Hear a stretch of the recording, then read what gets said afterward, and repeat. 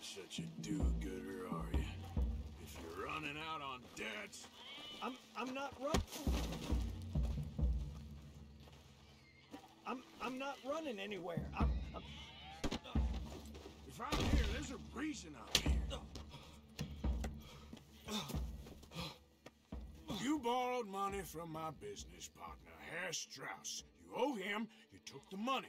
He wants it back, what's not to understand?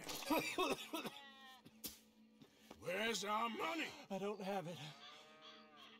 Sell your place. We already owe more than it's worth. Then sell your wife, or your family, or something. We ain't your idea of charity. Is that clear? Thomas! What are you looking at? Thomas! I said what you looking at, woman. My husband isn't well.